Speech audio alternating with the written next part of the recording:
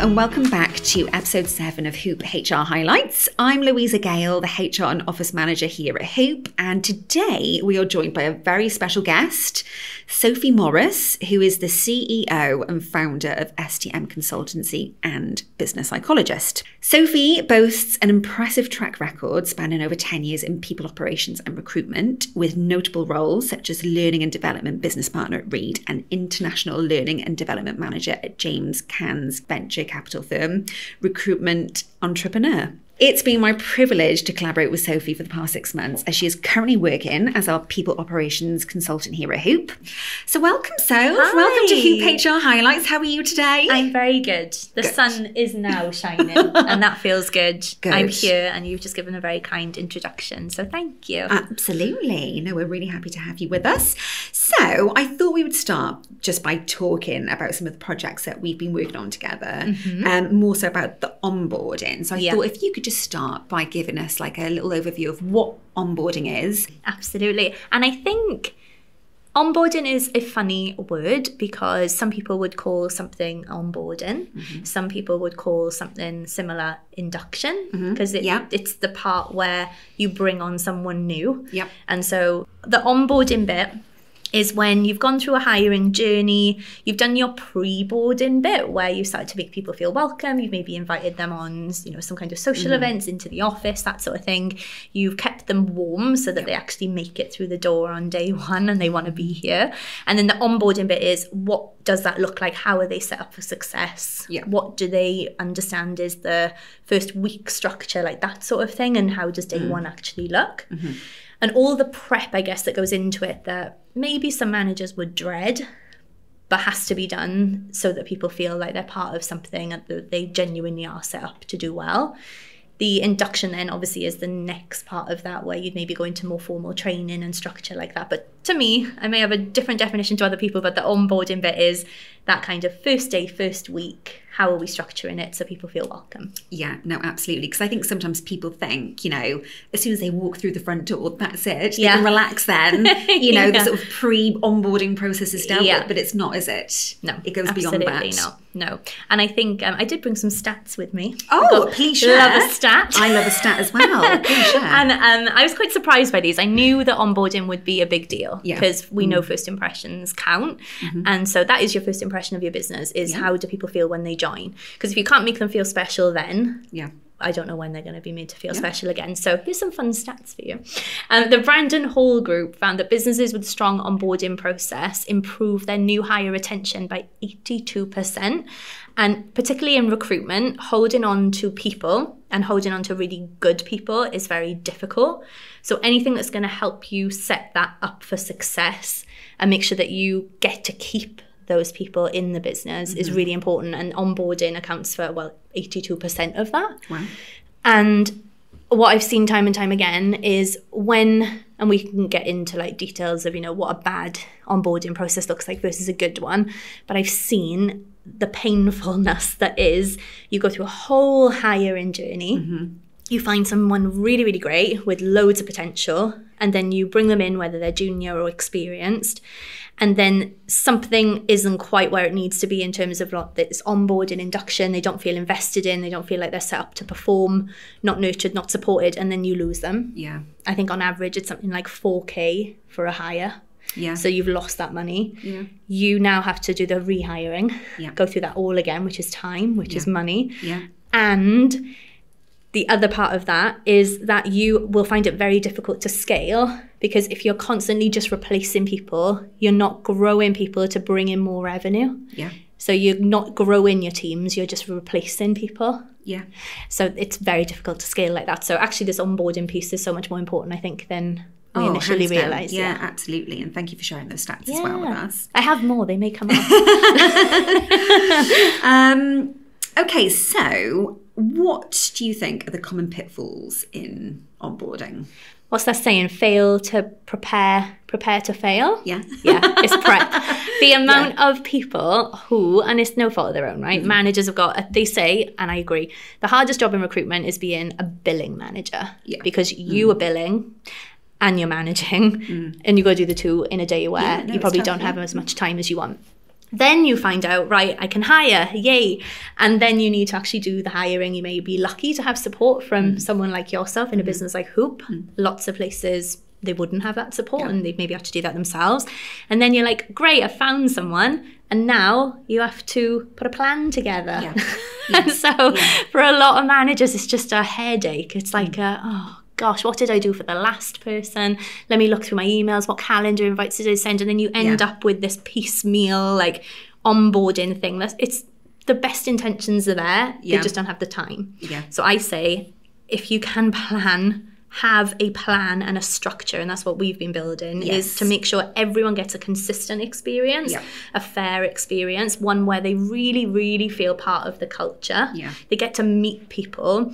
They just get to know how things work, really simple things. And I'll give you an example. So when I worked somewhere else, um, we had this situation where someone joined, and the simplest thing was that particular person in this particular office, they didn't know where to go for lunch. And I, I don't know if it was like an oversight of the manager Okay. to, to mention something so Yeah. small. Um, that team on that lunch day, I, I wasn't in the office that day, but they, um, that person was left on their own to kind of figure out what they wanted to do. They were local to the area, so it's probably just an oversight. But by the end of the week, that person had left. And I don't think it's because they didn't have somebody to go on lunch with, but it was very clear that that person didn't gel. Didn't feel part No. of the culture, did they? No. So after that, some Mm. of the feedback was like, I just kind of felt like I was on my own and it didn't feel like the right place for me to work. And so I thought that Yeah. was really disappointing. So we actually built in then to induction that every new starter would get a buddy Yeah. that buddy would be allocated a certain amount of expenses just on day one to take them for lunch. Yeah. If um if the team could go, great. Yeah. If the manager could go, great.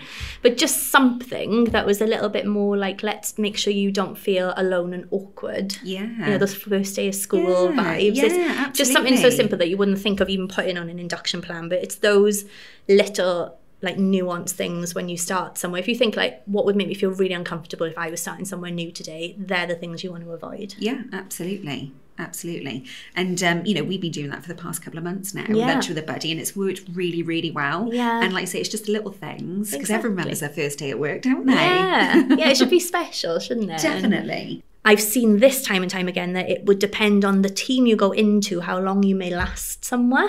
Okay. So, what we've been doing here at Hoop obviously is making sure that there's consistency across the teams Yes. with divisional specific flair if it needs it, because, you know, they work differently sometimes.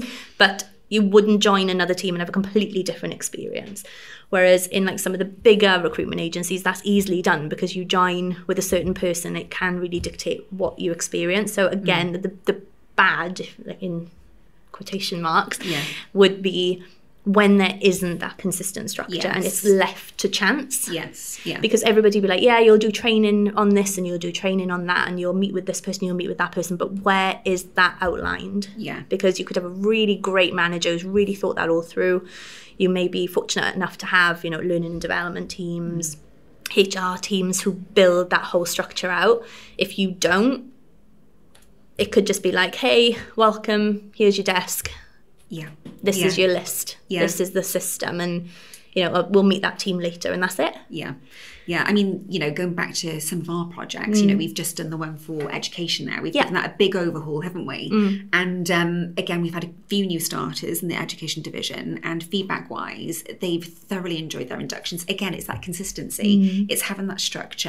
And I think people need that when they first join. Yeah. Whether or not they're experienced or not, I think they still need it. Yeah, Don't they? For sure. And then you can make it fun with, you know, other things. Like um, I remember I used to do a guess who networking Yeah. task. Yeah.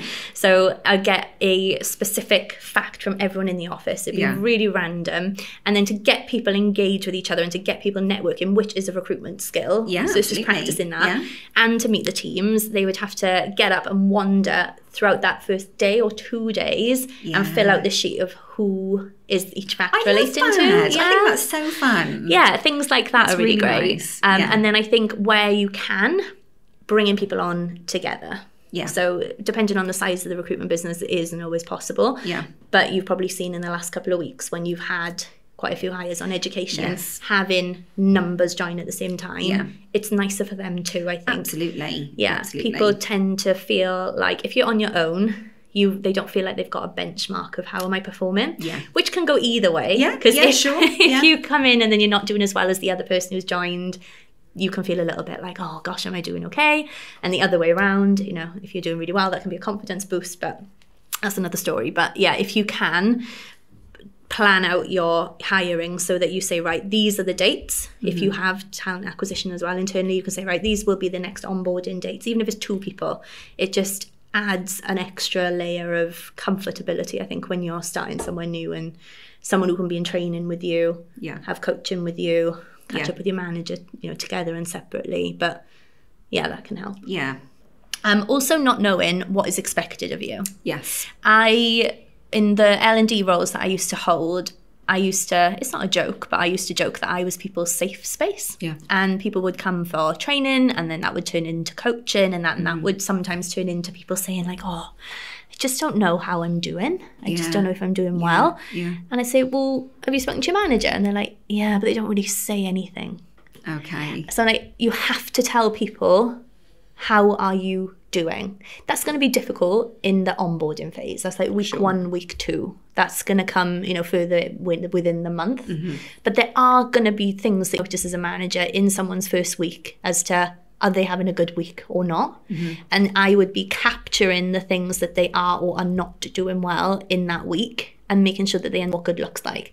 So when we've built out now this onboarding structure at Hoop, it's not just on Monday you're going to do this, and for the you know first half of the next day you're going to do that. There's also clear expectations on what should you be doing in terms of activity Yeah. what does performance look like because if you don't have that as a guide like like anything if i got in my car and i was you know trying to get somewhere if i didn't have if i didn't know where i was going i couldn't get there. Hmm. So i would like to know joining somewhere like hoop.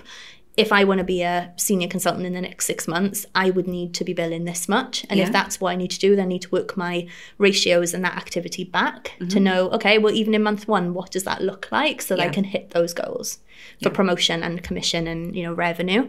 But a lot of the time we assume that someone will know what is needed of them because we're like yes you know recruitment you're going to make calls you're going to do this you're going to do that there's the kpis but also lots of the time we don't tell people why Yeah. so if you're Really hiring important. experienced hires they will know why Yeah. hopefully Yeah. if you're hiring junior people it's not always clear that we think it is because we know it it's not clear well why have i got to do this many calls why have I got to, you know, track this thing in the system? What does that give me? And people then get into bad habits. And this is Yeah. all started from day one. Yeah, So yeah, if you yeah. can get people using the system right, tracking things right, understanding why I've got to make this many calls because that turns into this much in terms of jobs, revenue, placements, whatever.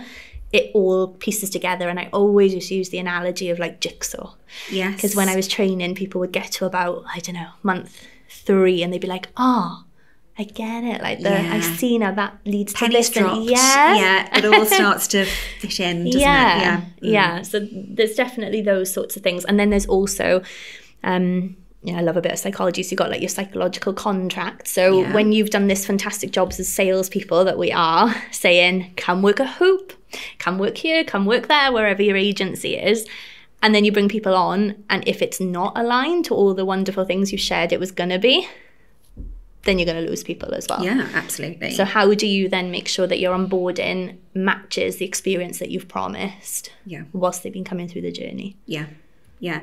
Well, that brings me on to the next point about what good onboarding looks like. Just a few little bullet points Mm-hmm. Yeah. about, you know, what people should really be focusing on. Yeah. Um, you know, because a lot of people, I suppose, don't have a lot of time maybe to put put it together. You know, if they've got a, you know, they, they've accepted an offer on a Friday and they're Yeah. starting on a Monday, you know, what are the essentials, I suppose? Yeah, I would um, definitely have a bit of a spreadsheet. I do have an onboarding checklist that I can share as well. I if love that a helps. spreadsheet. this is what Soph and I have in common. And you found love a spreadsheet. Love a spreadsheet. And if you don't love a spreadsheet, you can just have a Word document, can't you? You don't have to have a spreadsheet. But if you like us and love a spreadsheet, then mapping out, you know, what is going to happen on each day and do this by division because this is where it may change. Yes, so yeah, things that I would suggest what we've done with education is there's time scheduled through the week for A, having a later start on the Yeah. first day, just Yeah. as a bit of a, you know, have a bit of a you know a treat on us for your first yeah, day. well, we, we do that, don't we? So our Yeah. new starters start at 10 o'clock. I think, you know, just for the individuals to have those catch ups, make sure everything Yes. is ready, in place, you know, just so we can go, you know, pretty quickly into that process as soon Yeah. as they arrive. Yeah. Mm. Exactly. Yeah, that prep again. You've got time in case Yes. anything's gone wrong. Um, so we've got meet the team time.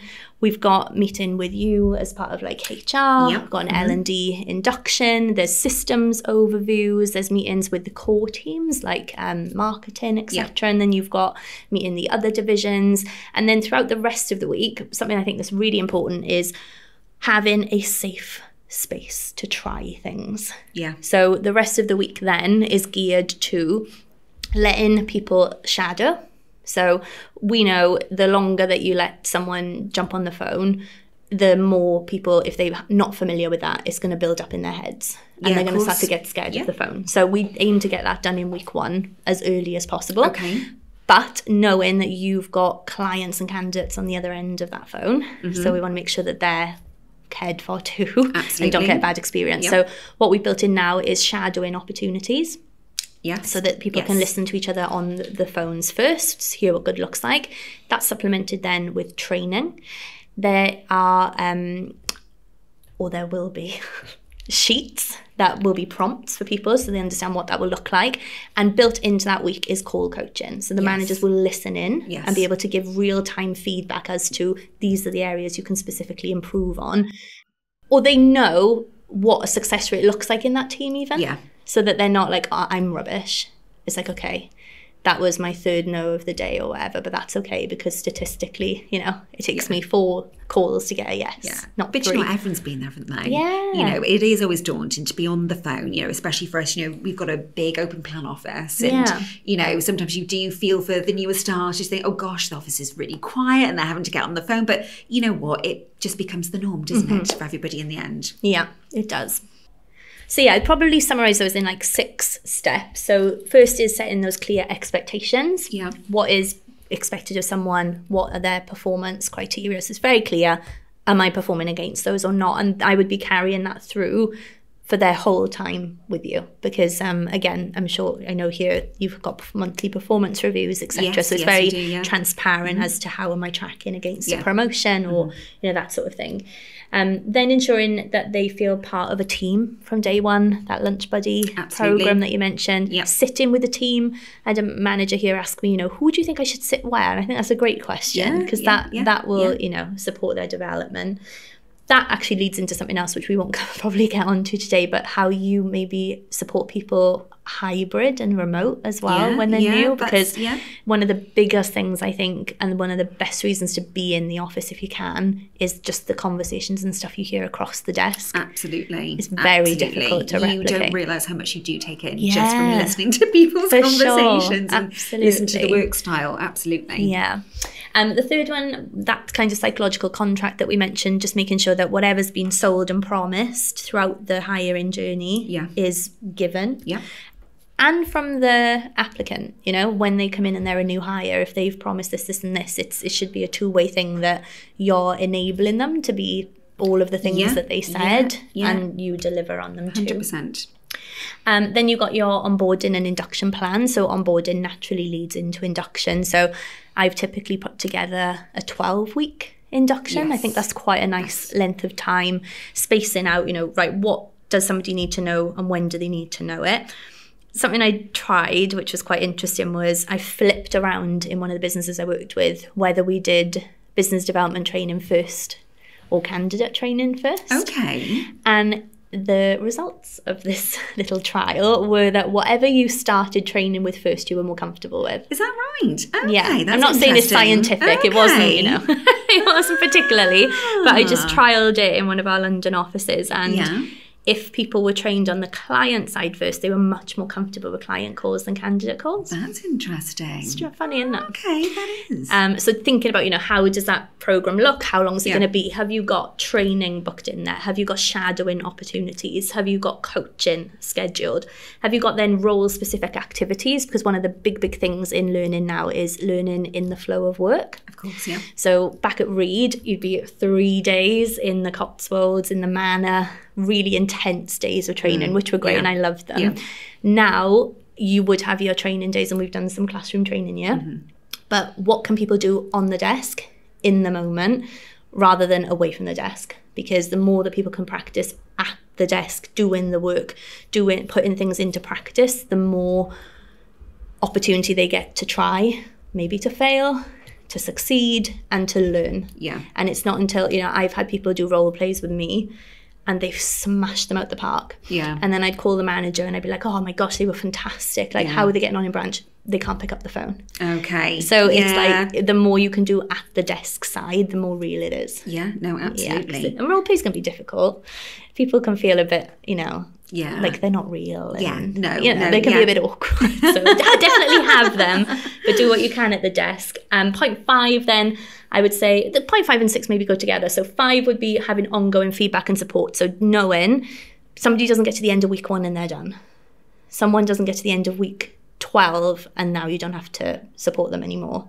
That learning, training, support, coaching should be completely ongoing and they should have a plan for that. Yes, yes. Um, and point six with that then is kind of doing your performance checks. And one thing maybe I haven't mentioned is when I said plan and prepare, something that's worked really well with some of the startups that I've worked with is as a manager figuring out, you know, who are the clients that this this consultant can come in and talk to that's mm-hmm. maybe going to be a little bit warmer than some of the cold calls they have. Okay. Who are some of the candidates that we can map out already that they can have some conversations with? What are some of the jobs that they can start working on straight away so that that builds up the confidence for that person mm-hmm. that they can get stuck in straight away? Because if you come into a desk that's quite cold and there's not much business on it, that's really difficult.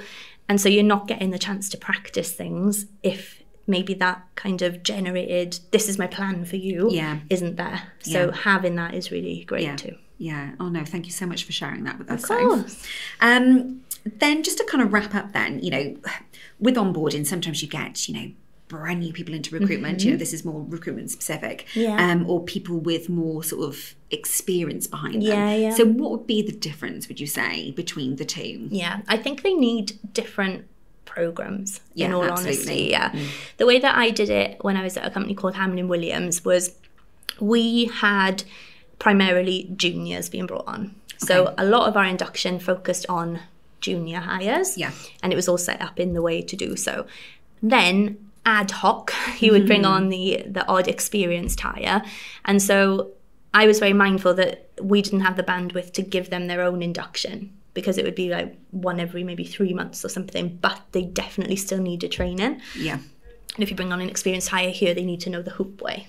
Absolutely. You know, Yeah. we all have, you know, different systems, our different Yep. ways of doing things, the reason why we're different in general, isn't it? Yeah, for sure.